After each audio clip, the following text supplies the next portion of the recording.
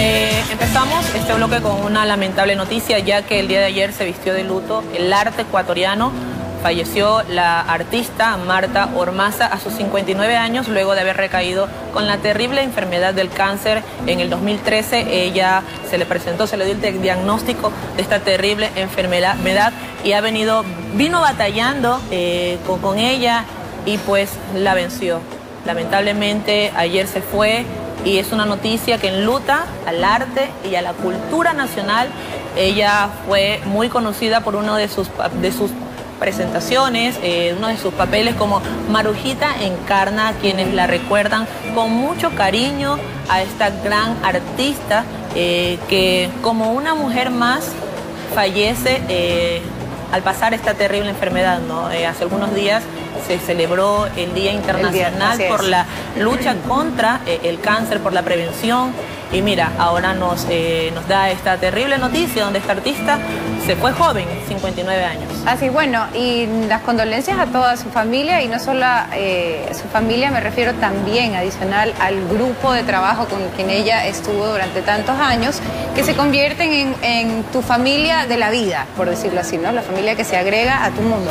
Y yo creo que ahorita ella debe estar eh, en el cielo y dándole su mejor obra a Dios. Así que yo creo que la, paz, la tranquilidad y la calma y rezar por ella y por su familia es una de las cosas que creo que podemos decir nosotros que estamos afuera de, de, ese tipo de situaciones. Todos los artistas ecuatorianos expresaron su profundo dolor ante la pérdida de esta grandiosa actriz que deja un legado muy bueno entre toda la gente, entre todos los artistas.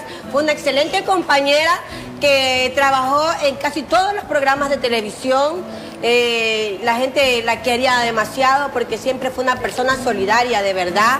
Este, no es que cuando las personas ya se van, uno siempre dice, esta persona fue buena, no. O sea, hay personas, hay personas que pasan por la vida dejando cosas buenas y Marta Ormaza fue una de esas personas. Por eso todos sus compañeros se expresaron ayer en la red, en Facebook, en Instagram, expresando su gran dolor y bueno, deseando que ella en el cielo tenga una mejor vida, porque ya dejó ese sufrimiento del cáncer que tan doloroso, que tan doloroso es para ella y para su familia. Y Nosotros, la gente aquí del Club de la Mañana, nos unimos en un abrazo fuerte, dándole la solidaridad a su familia y esperando, bueno, que estos duros momentos sean momentos eh, que se los pase en familia para poder superar este dolor. Bueno, y les comento que ella fue una real guerrera.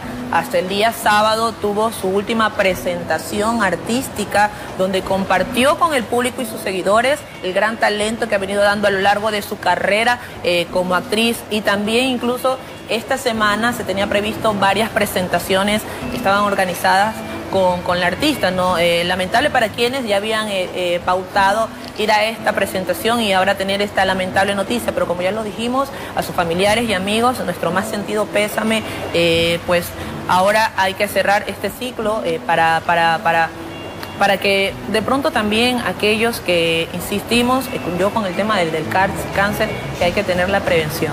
Así Cada vez más vidas se están perdiendo por esta enfermedad. Y, bueno, y queda el recuerdo de ella, que yo creo que son de las cosas que te quedan eh, del, del, mundo de, artístico en el que ella ha dejado. A todos nos queda una semilla, a todos lo disfrutaron en algún momento y el buen recuerdo es lo que siempre te vive.